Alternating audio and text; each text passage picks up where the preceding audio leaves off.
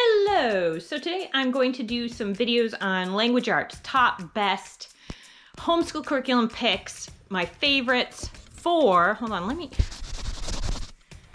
the screen cleaned off, for language arts. So I'm planning to do a few different videos on these because there's quite a lot of different options. So today I'm gonna show you some for neurodiverse kids, autistic kids, gifted kids. They're a variety of different curriculums, so there should be something relatively for everybody depending on whether you use an all-in-one curriculum or different ones. Anyway, take a look at these because they're pretty sweet. Of course, I have products of the day, which to be honest, kind of my favorite part. I have this product that my kids love. Oh, at the end of the video, I'm gonna show you a product I wouldn't buy again. That's just me. And you can take a look at it and see what you think because it's very tempting. It's, I, anyway. First product is Dissect It, which to be honest, I feel like they're spelling dissect wrong, but I'm probably spelling it wrong. They're probably spelling it right. So this is, it's like in jelly. Now, if you do, there's a curriculum called, I'm sure you all have heard of it. It's a Christian curriculum, Classical Conversations. And in it, they, they don't, their science program is a little, it's different. And one of the things they say is, oh, dissect a crawfish or dissect an owl. And you can buy crawfish to dissect. You could buy owls to dissect um, and see what's in their stomach. As if I was because of this the formaldehyde and, and things like that in a lot of them, I was hesitant to do that. But I wanted the excitement of um, a real you know, like dissecting something. But I didn't want it to be, I didn't want chemicals. I'm a very anti-chemical person. It make, they make me very nervous. That's why I don't do a lot of chemical science experiments. You're never gonna see me be like, oh, let's explode this and see how it goes. No. So, take a look at this because it's, I believe it's non-toxic. That's usually how I roll. I know, my nice, neatly made bed. Yeah, that's also how I roll. Okay, so you dissect it. It's jelly. My kid loved it, so I bought two more. And then after, you can either A, rebuild the skeleton if you want, and put it back in, and it gives you another pack of jelly that you can re-gel it. So dissect it, I think it's $14. They come at Walmart, you can get them at Walmart. You can get them on Amazon, you can get them a lot of places. Next product I wanna show you, which is kind of sweet.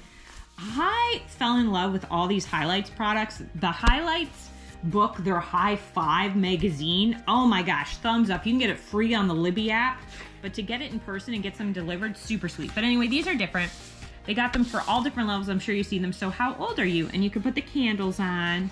So you're just like learning a few different skills, right? One, two, three, and then you cut them out, cut and paste. So different skills. And if your child's a little older and you're like, hey, how do I get my kids to do school? I have kids, one child unbelievably difficult to get him to do school. And so I thought it's not my problem anymore. It's on his list. He's got to do schoolwork. If he wants to play like certain iPad games, yeah, I get it. You have to do your choice and you have to do schoolwork. Now, when he does scream, I do work with him as to what is the most difficult because I've read a number of books and whatever is the most difficult, we can work that out together. But even, but some stuff still has to get done and so, you know what I'm saying? Like either way, you, what you can do is just wait till your child wants something or asks for something because they will no matter their age. If they're like 16 they're gonna be like hey can you give me a ride? Hey can i have some money? If they're younger they're gonna be like hey can i stay up later? Hey can i such and such? Absolutely because you're on their side. Absolutely. First we do this then we do that. It's not a punishment it's just life. It's just an easy way to get things done. That way it's not your problem. I don't worry about his dishes getting put on the counter. I don't worry about his clothes being picked up because as soon as he wants to play something, that's motivation enough to get that stuff done. Now, is there grumbling? Yes. I'm okay with a little grumbling. That's fine because that's his internal process working stuff out. He's still young.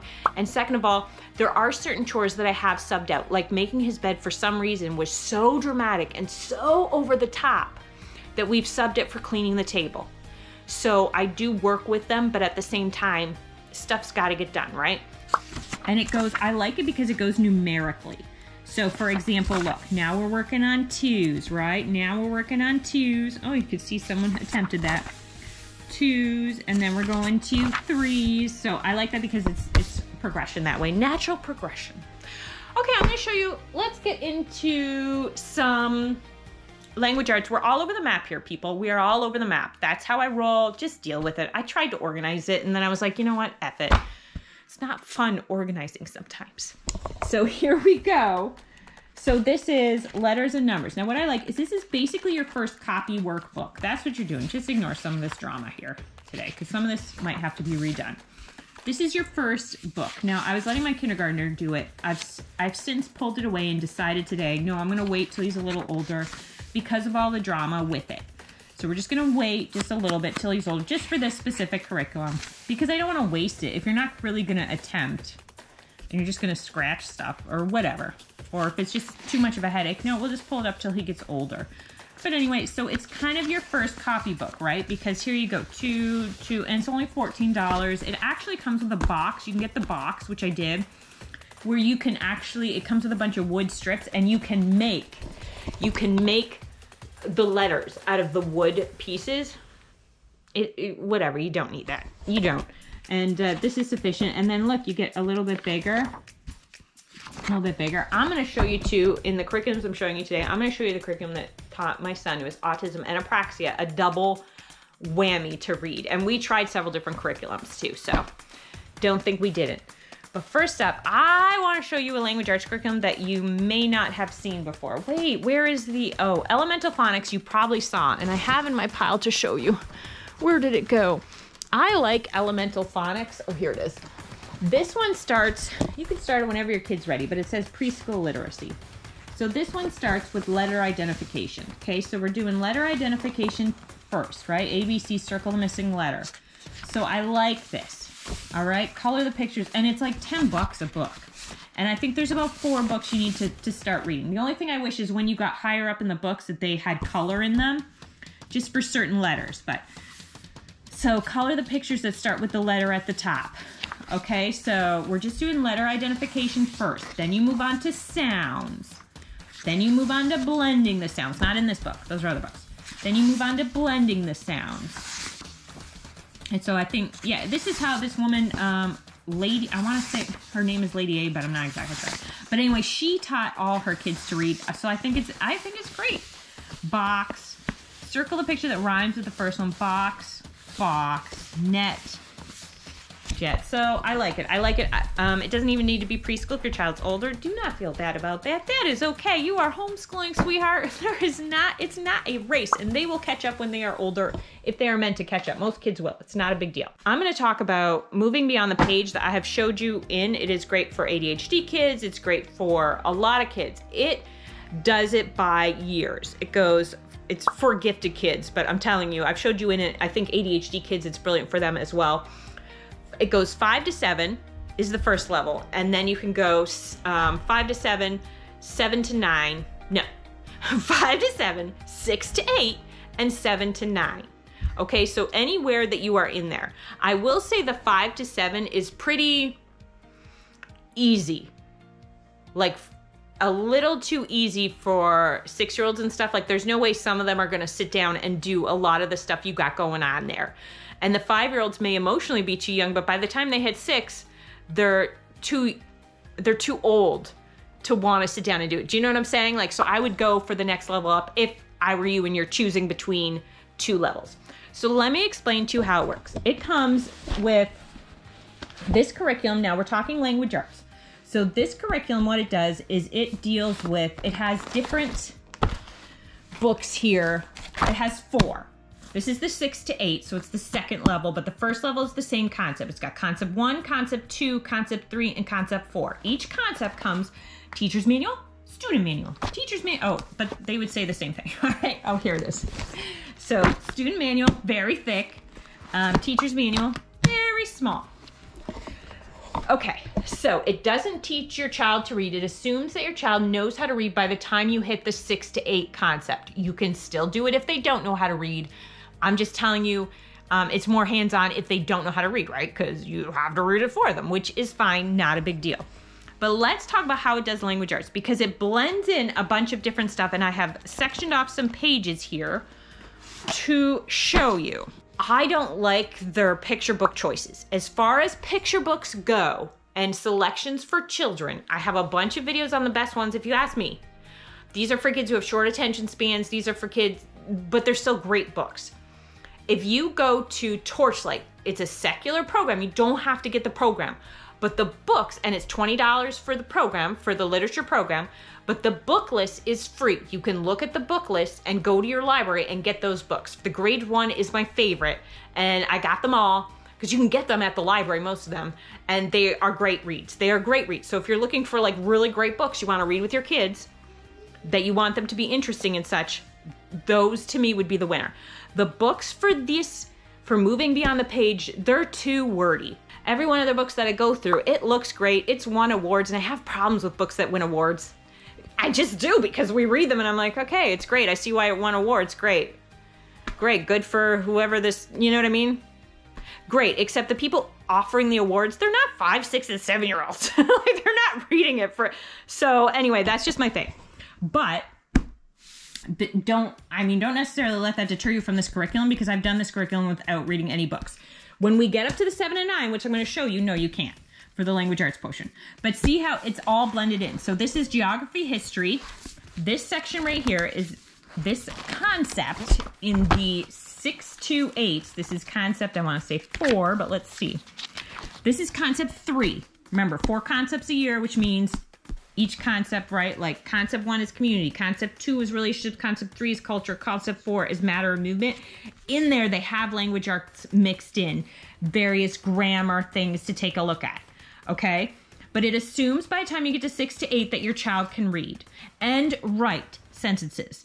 So that's something to keep in mind. Again, I do it even with a child who's not able to read and write. So it is doable. It's just, you know, you're not utilizing the full thing. Your child's not sitting down going, rah, rah, rah, but whatever.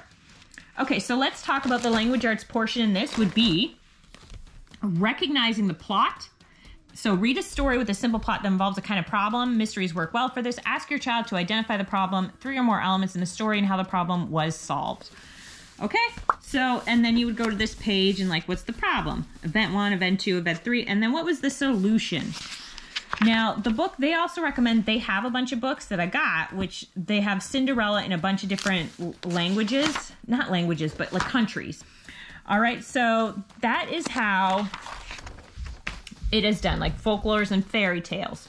Okay, so and then and then it's got answer the question of the book Yeh-Shen, which I didn't read because again a little wordy. I just haven't sat down and been like, hey guys, let's tackle this book. Okay, so you see how it is. So this the Cinderella elements chart. Okay, so here it is: the Egyptian Cinderella, the Irish Cinderlad, and Yeh-Shen, which again is kind of a concept of Cinderella.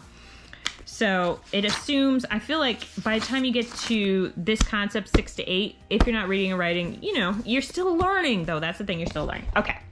So that is another one. Let's take a break from this, from language arts. So it, but every book has language arts in it. Every book has math mixed in it. Um, like nouns and stuff. You'll learn nouns throughout it. So it is just a, a variety of different materials. Like here look at this. So money it's like values of money fill in like which each one is right? And uh yeah. So it it deals it's got counting by fives and tens. So it does have math and it does but it's not a full-on math curriculum. It's not strong enough to be a math curriculum but it does have flowcharts of money wants and needs work money save spend and give okay so anyway, there's a lot of different portions in these books, in these four concepts that teach a lot of different skills, which I think is really great and really neat. Back to another curriculum. This is the one that, that is the simplest. We started off using the, like you can start off using this, reading eggs, whichever you want for this for letter identification, and then move on to reading eggs for letter sounds if you are not great at that. But this curriculum really, it really took my kid into reading. It is the Craft Right Brain Readers, my autistic kid. At that level 1A. So even today, watching him read is like amazing. So I've showed you this before, so I'll go through it quickly. Is, and then on the back, is that a snake or is it a worm? See, it's using and tells you how to hold it up and show them. So it's using mnemonic devices to help you get those words. And then you sit down and this is, these are the sounded out ones. Fat, pat, rat, sat, after they know their sounds. These are the words that you just need to memorize that are in here. Is, my, and a, and they're in order. Then that's their first story, dude. That is their first story. And then they learn how, so they build on it, and it's watching him build on it and be able to finally sound out things and read stories. It's amazing. It's amazing. I could not be prouder of myself for teaching him to read. Let me show you the seven to nine, moving beyond the page curriculum, their language arts is done completely different. Then when you get to seven to nine, they have separated into science. They've separated it into, so there's not really, there's kind of concepts, but there's not just four concepts. They have separated it clearly into, let me show you, and everything comes labeled and ready to go. So each of these, so this is like concept two, unit three. So if you were to start at concept one, this is concept one, unit one is Tornado, the book Tornado. They go through Charlotte's Web. They go, again, it's very good language arts program. And uh, this is the student and teacher manual all in one, near as I can tell, because these are the vocabulary words. This is telling you um, what your typical day looks like. I don't think that's true. 30 minutes, 60 minutes. I don't necessarily think that schedule is true, but maybe if you do it, I don't know. Go ahead. So farm life, Venn diagrams. It tells you you explain Venn diagrams to your kids. Um, the storm. Ask your child to read chapter one in the book. See, so this assumes your child can read, but I would do it reading to them. Um, not that he can't read, but that's just a lot of words. So answer the following question. Can you summarize chapter one? What's the problem? What do you feel? How would you feel if you saw a tornado? What would you do? Can you name all the people in the cellar who's not in the cellar? And can how would you describe the cellar? Now, I do language arts a bit differently where I don't necessarily like we read for enjoyment. Do you know what I mean? Like we're just reading and then we can just discuss it. So I would just look through here and be like, okay, let's discuss it. Um, but they have a lot of different activities in here for. So for example like the very first one i read was to draw a a draw tornado right? Okay time transition worlds beginning middle and end. So it teaches you again a lot of stuff as a result at the end eventually finally in the end last lastly to conclude.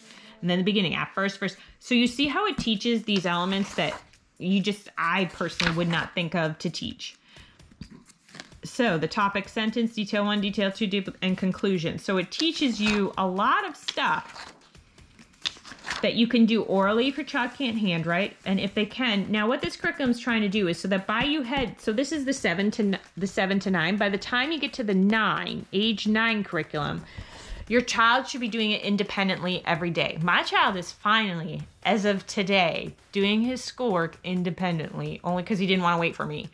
So we got up and he did it, and I was like, "Is he doing his schoolwork?" And he like did it all, and I was like, and not only that, he did it faster than if I sit with him and did it with him. I do not understand that. I was very confused by it. I was like, "What? You've done math, reading, and um, handwriting? Like you've done it all?"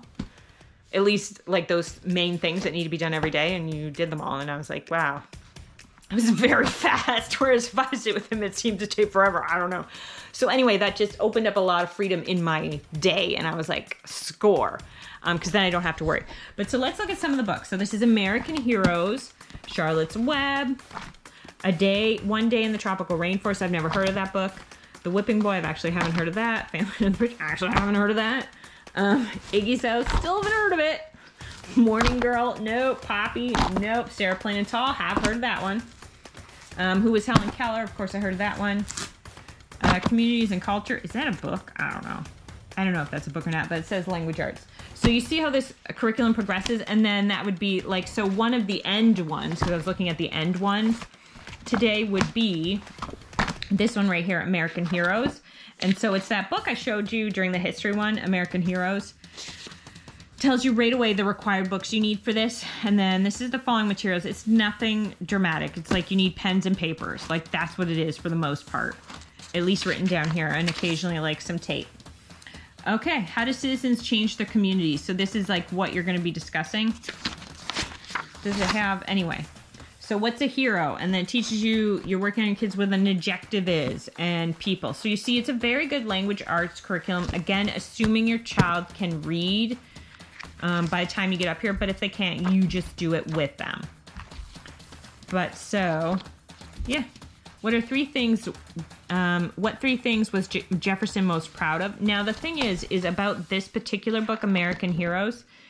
the thing is, is it's not that interesting a book. Again, some of their book sections aren't that interesting. I haven't read Tornado yet, but I have it and I'm looking forward to it. I read Charlotte's Web when I was like a little kid, so I haven't read it since, but I've read the prequel with this pig and how he became Charlotte's uh, pig and how he ended up at uh, where he ended up and stuff. It was a good story. Can't remember it, but it was a good story. Um, and I liked it. I read it a couple times, accidentally picked it up the library a few times. It was good. But the 50 American heroes every kid should meet. I know everyone loves it online. Like I, I'm not saying homeschoolers rave about it online. I haven't seen that, but just people, regular, average, non-homeschooling people love it. And then I, I, I just don't like it. I don't think it's that interesting for this age. I think all these books they need to be just a little older. But again, maybe if your child's really gifted and so he's like his brain is at a age nine level, he's like, yeah, this works. So I just don't think it's that interesting, but it's still doable. And it's only like one page per thing. I just think there's more interesting ways to discuss the heroes than stating what they do. I think I think there's more interesting ways. But that's that's maybe I'm a book snob. I don't know, but everyone's got their preferences as to as to what they like and what they don't like. Okay, so there you go. That is the language arts. There you go. I've showed you a few curriculums. I have a few more to show you at some time. Um, because again, I bought Abeka. I bought um, All About Reading. I bought this one, another easy curriculum that I think is great. So I bought, I mean, all these language arts curriculums, all in one language arts curriculums, different language arts curriculums. I bought them all. And uh, yeah, these are some of my favorites. So I hope you like them too. Bye-bye. Please like to subscribe Yes. and hit the bell for notifications.